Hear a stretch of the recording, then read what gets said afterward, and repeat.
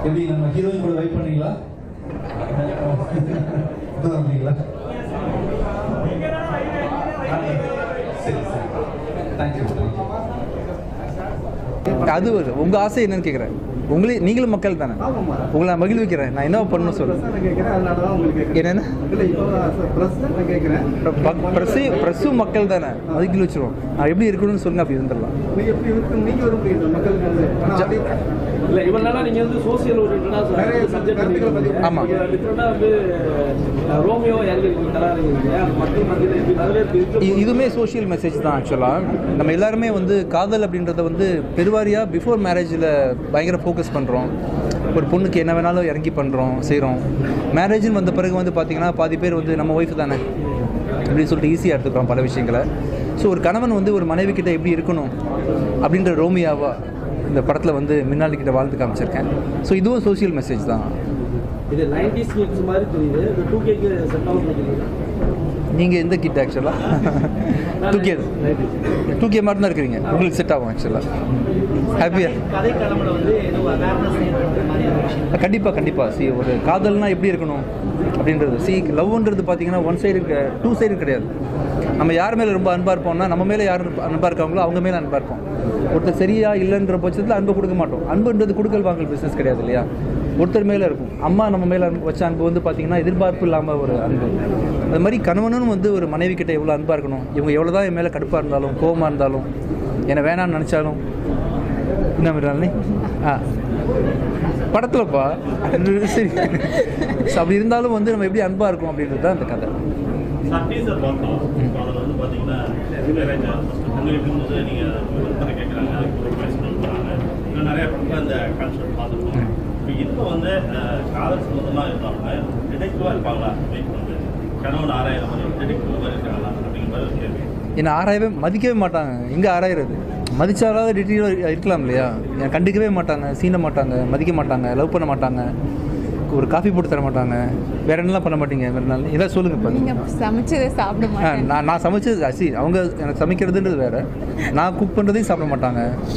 அப்படி ஒரு வாழ்க்கை எனக்கு ஆக்சுவலாக ஸோ அந்த வாழ்க்கையில் வந்து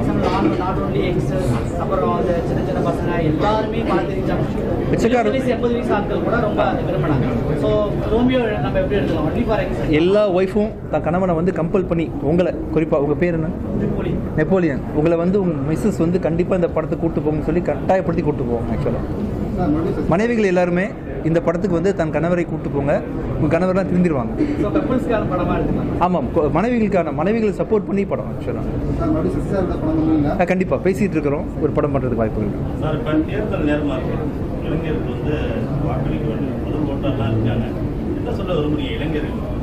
சார் அவேர்னஸ் நிறைய கொடுத்துருக்கீங்க எல்லா டைம்லையும் ம். எலெக்ஷன் அவேர்னஸ் நீங்கள் சொல்லுவீங்க.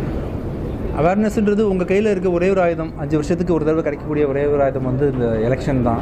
ஸோ அந்த டைமில் கேர்லெஸ்ஸாக இல்லாமல் ஒரு ஆஃப் அன் ஹவர் திங்க் பண்ணுங்கள் அப்புறம் வந்து நான் பர்சனலி என்ன கேட்டிங்கன்னா நோட்டாக்கு ஓட்டு போடுறதை நான் வரவேற்கிறது இல்லை. ஒரு ஒஸ்ட்டில் பெஸ்ட்டுன்னு ஒன்று கண்டிப்பாக இருக்கும் இல்லையா? ஸோ அதை சி எல்லாருமே நோட்டாக்கு ஓட்டு போட்டோம்னா அப்புறம் நாட்டில் யார் தான் ஆள போகிறா ஸோ கண்டிப்பாக நீங்கள் ஒருத்தர் யாராவது ஒருத்தர் பெஸ்ட்டாக சூஸ் பண்ணி இருக்கிறதில்ல. நீங்கள் கண்டிப்பாக ஓட்டு போடுறதுக்கு வாங்க. வாக்கு சதவீதம் வந்து அட்லீஸ்ட் ஒரு ninety percent ninety five percent இருக்க ட்ரை பண்ணுங்கள் சோஃபார் எத்தனை பர்சன்ட் இருக்குது வாக்கு சதவீதம்? அறுபது பர்சன்ட் இருக்குமா? அறுபது எழுபது percent sixty five sixty seven இருக்குது நைன்ட்டி பர்சன்ட் நெருக்க ட்ரை பண்ணுவோம். ஏன்னா அதெல்லாம் பண்ணாமல் நம்ம குத்துதே குடையுது நாடு சரியில்லைன்னு சொல்லக்கூடாது. அவசியம் ஓட்டு போட வாங்க. அந்த அதர் ஹேண்ட் வந்து ஓட்டு போட கூலிங் ஸ்டேஜ் இடத்துக்கே போகாம நிறைய பேர் இருப்பாங்க. நான் ஏன் போய் ஓட்டு போடணும்? என்னோட டைம் ஸ்பெண்ட் பண்ணிக்கிட்டு நான் ஓட்டலாம் நான் போடல. அதுக்கு என்ன அப்படிங்கிற மாதிரியான ஒரு தாட் கூட இன்னைக்கு இருக்க யங்ஸ்டர்ஸ்ட கூட இருக்கு.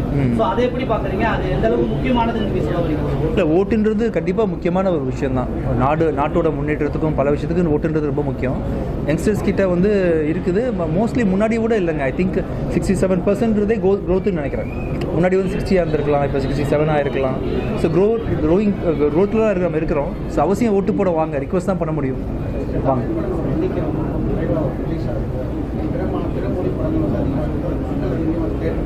வரவேற்கத்தக்கது.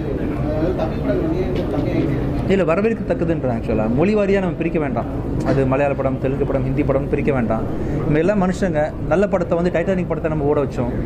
நம்ம ஊர்லேருந்து நிறைய படங்கள் வந்து மலையாளத்தில் ஓட வச்சுருக்காங்க ஸோ என்னோடய படங்கள் பிச்சைக்காரன் ஒன்று வந்து தெலுங்கில் பெருசாக ஹிட் ஆகிருக்கு பாகுபலி நம்ம ஊரில் ஓடி இருக்கு மஞ்சள் பாய்ஸ் ஓடுதுன்றதெல்லாம் கலாச்சார முன்னேற்றம்னு நினைக்கிறேன் ஆக்சுவலாக நான் மொழியை தாண்டி கலையாக மட்டுமே வந்து ஒரு படத்தை பார்க்குற விஷயங்கள்லாம் வந்து மக்கள் மெக்னானிமஸாக மாறியிருக்காங்க. பரந்த மனப்பான்மையோடு இருக்காங்க. நல்ல கலையை ஆதரிக்கிறாங்க. மொழி மொழிவாரி யோசிக்காமல் ஸோ அந்த விதத்தில் வந்து மலையாள படங்கள் ஓடுது தெலுங்கு படங்கள் ஓடுது தமிழ் படமும் வெளியூரில் ஓடிட்டு இருக்கு நல்ல விஷயம். இப்போ கூட பார்த்தீங்கன்னா அட்லி வந்து ஜவான் பண்ணியிருக்காரு அந்த ஊரில். பெரிய கலெக்ஷன் சொல்கிறாங்க ஸோ நல்ல விஷயம்தான். நல்ல கலைகள் வந்து வருது.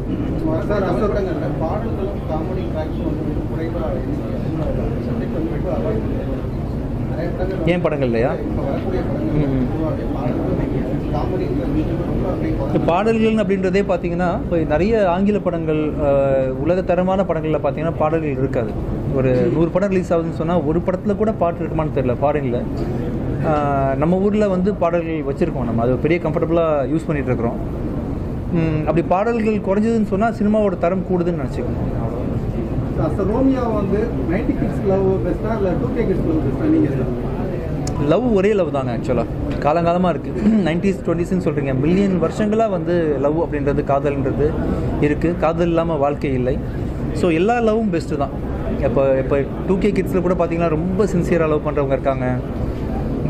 ஒருத்தருக்கு ஒருத்தர் அவ்வளோ அன்பாக இருக்கிறாங்க. ஸோ செவன்ட்டீஸு சுதந்திரத்துக்கு முன்னாடிலாம் வந்து கேர்லெஸ்ஸாக நிறைய பேர் லவ் பண்ணவங்க. அது எந்த லவ்லையும் சின்சியராக இல்லாதவங்களாம் இருந்திருக்கிறாங்க.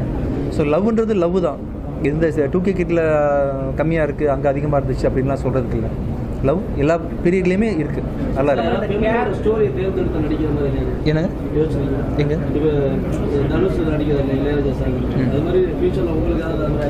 எனக்கு பிளான்லாம் எதுவுமே இல்லை சார் ஆக்சுவலாக அந்தந்த மொமெண்ட்டில் என்னென்ன விஷயங்கள் நடக்குதோ திடீர்னு உங்கள் ஸ்டோரி நல்லா இருந்தால் நடிச்சிருவேன் ஸ்டோரி சொல்கிறீங்களா அப்படிங்களா? ஸோ அது அப்படி அப்படியா? எந்த சீன் ஓ சரி சரி. ஓ சரி. ஸோ எனக்கு எந்த பிளானும் இல்லைங்க. போகும்போது நிறைய நல்ல விஷயங்கள் கிடைக்கும். திடீர்னு உங்கள்கிட்ட இருந்து கிடைக்கும். எதெல்லாம் கிடைக்குதோ அதெல்லாம் வந்து எடுத்துகிட்டு போட்டு போகணுன்றது தான் என்னோட ஜேர்னி உங்கள் ஆசை என்ன சார்? சரி உங்கள் உங்கள் ஆசை சார்? உங்களுக்கு ஆசை எதாவது இருக்கா? நீங்கள் விருப்பப்பட்ட வரேன் சார். நீங்கள் சொல்லுங்கள் ஆசை இருக்கா? ஓகே சார் உங்கள் ஆசை என்ன சார் நான் வரணுமா? சார் இல்லை எல்லாருமே வரணும் சார் அரசியலுக்கு வந்து எல்லாருமே வரணும். சரி. வந்தாலும் வரவேற்க மக்கள். எதுவும் ஐடியாலாம் அப்படி கிடையாது எனக்கு ஆக்சுவலாக இப்போ நான் ஃபுல்லாக இதில் ஒர்க்கில் பிஸியாக இருக்கிறேன். ஸோ இப்போதைக்கு அந்த பிளான்லாம் எதுவும் இல்லை. ஃபியூச்சர் இல்லை அப்படிலாம் தெரியல. நீங்கள் நீங்கள் ஆசைப்படுறீங்கன்னா வேணால் எல்லாம் கூடி கேட்டுக்கிட்டிங்கன்னா ட்ரை பண்ணலாம். மேடம் அமைதியாக இருக்காங்க. சார் எப்படி மேடம் ஷூட்டிங் ஸ்பாட்டில் ஜாலியாக டைப்பா வெரி நார்மல் இப்போ எப்படி இருக்காரோ அதே மாதிரி தான் இருப்பார் ஸோ என்ன ஒரு பாசிட்டிவ்னா அவரை நீங்கள் அப்சர்வ் பண்ணாலே அவர்கிட்ட இருந்து நிறைய விஷயங்கள் கற்றுக்கலாம் ஸோ அந்த விதத்தில் வந்து எனக்கு எப்படி ஒருத்தர் ஒரு multi tasking multi tasking personality ஆனால் டயர்டே ஆகாமல் அந்தந்த விஷயத்தில் மாத்திரம் ஃபுல் ஃபோக்கஸாக இருக்கலாம். எவ்வளோ ஹம்பிளாக கிரவுண்டடாக இருக்கலாம். எவ்வளோ நார்மலாக இருக்கலாம். ஸோ அதெல்லாம் வந்து நிறைய விஷயங்கள் நான் கற்றுக்கிட்டேன் so it's very inspiring sir இப்போ சமீபத்தில் நீங்கள் செப்பல் எதுவும் யூஸ் பண்ணுறதில்ல அது இன்ட்ரெஸ்ட்டில் பார்க்குறோம்? அது இப்போவும் நீங்கள் செப்பல் போடாமல் தான் வந்தீங்க. அது ஏதாவது ரீசன் எதாவது பயங்கரமான தோணுச்சு ஒரு நாளைக்கு. ஒரு நாள் சும்மா நடந்து பார்த்தேன் நல்லா இருந்துச்சு. சரி நடந்து பார்க்கலான்னு ரொம்ப நல்லா இருக்கு. காலுக்கு நல்லா இருக்கு ஆக்சுவலாக மனசுக்கு நல்லா இருக்கு. இப்ப ரொம்ப- ரொம்ப சந்தோஷமா பேசிட்டு இருக்கேன் இல்லையா? அதுக்கு முக்கியமான காரணம் நான் செல்ஃப் தான் ஆமாம் எப்போவுமே. சீனில் போட சொன்னால் போட வேண்டி போடணும் இல்லையா? எனக்கு லைவ் கான்சர்ட் இருக்குது அதில் வந்து ஓடணும் வரணும் நிறைய ஆணி இருக்கும் ஸ்டேஜஸில் அப்படின்ற மாதிரி இடங்களில் வந்து நான் ஷூ போட்டுக்கிறேன். சீனுக்கு வந்து நான் செருப்பு போட்டுக்கிறேன். பர்சனல் லைஃப்பில் வந்து போடுறதில்ல. நல்லா இருக்குது ஆக்சுவலாக மனசுக்கு ரொம்ப லைட்டாக இருக்குது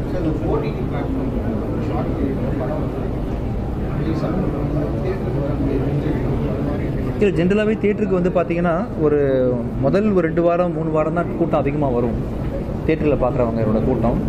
இப்போ சில படங்கள் ரொம்ப நல்லா ஓடிட்டுருக்கு அப்படின்னும் போது நம்ம ஓடிடியில் பேசி படம் ஓடிட்டுருக்குங்க. அது ஒரு ஒரு மாதம் தள்ளி நீங்கள் டிஸ்ப்ளே பண்ணுறீங்களான்னு கேட்டுக்க முடியும். அவங்களும் பண்ணுவாங்க. சில நல்ல படங்கள்லாம் ஐ திங்க் கொஞ்சம் லேட்டாகவே ரிலீஸ் பண்ணியிருக்காங்க ஈவன் பார்த்தீங்கன்னா இப்போ ஹனுமான் ஒரு படம் வந்துச்சு. I think two months three months கழிச்சு தான் அது வந்து ஓடிடியில் ரிலீஸ் ஆகுது. அது மாதிரி ஒரு ஃபெசிலிட்டி எப்போவுமே இருக்குது ஆ. பைரசி இப்போ இல்லாமல் போயிடுச்சு இல்லையா? ஓடிடி வந்ததுக்கப்புறமே ப்ரொடியூசர்ஸ்க்கு நல்ல காலம் ஆரம்பிச்சிருச்சு. பைரசி வராமல் போயிடுச்சு. திரைத்துறையில் பல கலைஞர்கள் தொடர்ந்து என்ன பண்ணுறாங்க எல்லா இடத்துலையுமே இந்த இந்த காலத்தில் வந்து கொஞ்சம் ஹெல்த்தை பார்த்துக்கிறதுல ஸ்ட்ரெஸ்ஸில் இருக்கிறாங்க நிறைய பேர். திரைத்துறைன்னு இல்லை இப்போ நம்ம உங்கள் துறையில் கூட. லைஃப்பை கொஞ்சம் பார்த்து அணுகிட்டிங்கன்னா கொஞ்சம் ஸ்ட்ரெஸ் கம்மியாகும். ஸ்ட்ரெஸ் தான் பாதிக்கும் காரணம்னு நினைக்கிறேன். அந்த காலத்துலலாம் நிறைய உயிரோடு இருந்தாங்க. இப்போ ஐம்பது வயசுலலாம் ரொம்ப நிறைய போட்டு மைண்டில் போட்டு குழப்பிக்கிறாங்க ஸ்ட்ரெஸ் எடுத்துக்கிறாங்கன்னு தான் தோணுது. ஸ்ட்ரெஸ் ஒரு முக்கியமான காரணம் வாழ்க்கைக்கு. உலகத்தில் உள்ள நோய்கள்லேயே ரொம்ப சீரியஸான நோய் எதுன்னு கேட்டிங்கன்னா ஸ்ட்ரெஸ்ஸுன்னு சொல்லலாம். டிப்ரெஷன் ஸ்ட்ரெஸ் ஆன்சைட்டிலாம் ரொம்ப பெரிய முக்கியமான விஷயங்கள். அதை விட்டு நம்ம தள்ளி வாழ்ந்தாலே இந்த ஜேர்னி இந்த உலகம் இந்த வாழ்க்கை எல்லாம் கொஞ்சம் இன்னும் பீஸ்ஃபுல்லாக இருக்கும். இது முக்கியமான காரணம்.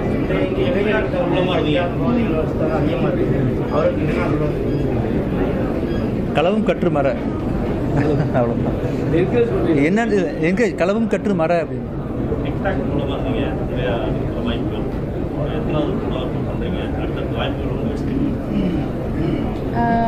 எத்தனாவது படம்? சிக்ஸ் ஆர் செவன் ஆறாவதுன்னு நினைக்கிறேன். இப்போ வர்ற ஆப்பர்ச்சுனிட்டிஸ் வந்து எனக்கு ரொம்பவே சந்தோஷமாக இருக்குது பிகாஸ் என்னோட எல்லாமே என்னோட கேரக்டர் ஓரியன்டாக நான் இப்போ ஒர்க் பண்ணிகிட்டு இருக்க ரெண்டு டேரக்டர்ஸுமே பார்த்தீங்கன்னா ரொம்ப சென்சிபிளாக ஒரு ஒரு பொண்ணு லைக் யூஸ்வலாக ஒரு ஸ்கிரிப்ட் எடுத்திங்கன்னா யூஸ்வலாக ஹீரோ ஓரியன்டாக இருக்கும். அதில் வந்து ஹீரோயின் ஒன் ஆஃப் த பார்ட்டாக இருக்கும். யூஸ்வலாக ரெண்டு பேருக்குமே ஈக்குவலாக எழுதுகிறவங்க ரொம்ப கம்மி. கமர்ஷியல் எலமெண்ட்லாம் எடுத்துக்கிட்டு யூஸ்வலாக ஹீரோக்கு தான் ஜாஸ்தி ஸ்கோப் இருக்கிற மாதிரி இருக்கும். பட் நான் இப்போ ஒர்க் பண்ணிகிட்டு இருக்க மோஸ்ட் ஆஃப் த டேரக்டர்ஸ் பார்த்தீங்கன்னா ரொம்பவே ரெண்டுக்குமே இம்பார்ட்டன்ஸ் கொடுத்து அதை என்டர்டெய்னிங்காகவும் எப்படி டெலிவர் பண்ணுறதுன்ற மாதிரியான ஸ்கிரிப்ட்ஸில் தான் நான் ஒர்க் பண்ணுறேன் ஸோ எனக்கு இப்போ சந்தோஷமாக இருக்குது இட்ஸ் வெரி குட் முன்னாடி மாதிரி இல்லாமல் uh, இப்போ வந்து எல்லாருக்குமே ஒரு ஓப்பன் ஆப்பர்ச்சுனிட்டி எல்லாருக்குமே வந்து அந்த ஆப்பர்ச்சுனிட்டி ஈக்குவலாக போய் சேருது. முன்னாடி எல்லாம் ஒருத்தவங்க ஆல்ரெடி இண்டஸ்ட்ரியில் வந்து தெரிஞ்சிருக்கணும் இல்லைன்னா அவங்களோட ரிலேட்டிவ் ஃபேமிலி மெம்பராக இருக்கணும். இப்போ வந்து யார் இருந்தாலும் எந்த மூலையில் எங்கேயோ யாராவது ஒருத்தவங்க நல்ல டேலண்ட் இருந்தால் அது அழகாக வந்து சோஷியல் மீடியா முன்னாடி அவங்களுக்கு இருக்கிற பேஷனை ஈஸியாக அவங்களே வந்து uh, எக்ஸ்போஸ் பண்ணி வெளில வரலான்றது ஒரு நல்ல ஒரு விஷயம். எல்லாரும் சார் ஒவ்வொருத்தட்டையும் ஒரு பெரிய விஷயம் இருக்குது கமல் சாரோட நாலேஜ் தொடர்ந்து கற்றுக்கிட்டே இருக்கிறார். ஹீரோ தானே. நடிப்பு மட்டும் கற்றுக்கிட்டா போதும் இல்லாமல் டெக்னாலஜி முத முதல்ல ஆவிட் எடிட்டிங்லாம் கொண்டு வந்தது அவர் தான் டிஜிட்டல் சினிமா கொண்டு வந்தது அவர் தான் ரஜினி சாரோட பண்பு பணிவு எவ்வளோ பெரிய இடத்துக்கு போனாலும் ரொம்ப சிம்பிளாக ஹம்பிளாக இப்போ இயல்பாக பழகுறது சிம்பிளிசிட்டி எனக்கு பிடிக்கும். ஒவ்வொருத்தட்டையும் ஒரு பெரிய பெரிய தனித்திறமை இருக்குங்க கண்டிப்பாக ஆமாம். ஏன்னா நிறைய யங்ஸ்டர்ஸ் நான் அறிமுகப்படுத்தணும்னு நினச்சேன் ஆக்சுவலாக நான் மியூசிக் பண்ணும்போது நிறைய பாடல்கள் நிறைய லிரிசிஸ் அறிமுகப்படுத்தினேன். இப்போ வந்து ஆக்டராக ப்ரொடியூசராக இருக்கிறதுனால நிறைய மியூசிக் டேரக்டர் அறிமுகப்படுத்துக்கான வாய்ப்பு எனக்கு கிடைக்குது. சந்தோஷமாக அதை வரவேற்கிறேன். சூப்பராக வந்திருக்கு. அது சார் பரத் தனசேகரன் ஒருத்தர் பண்ணியிருக்காரு மியூசிக்கு ரொம்ப நல்லா பண்ணியிருக்காரு நல்லா இருக்கு. திருச்சி எப்படி சார் பார்க்குறீங்க சார் திருச்சி எப்படி பார்க்குறீங்க? சூப்பர். நல்லா இருக்கு. ஆக்சுவலி இப்போ தான் போகணும். நான் வாழ்ந்த வீட்டுக்கெலாம் போகணும்னு ஆசைப்பட்றேன். உங்கள் ப்ரெஸ் மீட்லாம் முடிச்சுட்டு சைலண்ட்டாக ஒரு தடவை போய் பார்த்துருக்கேன் இருக்கேன் நீங்கள் சொல்ல மாட்டீங்க பட் இருந்தாலும் தெரிஞ்சுக்கணும்.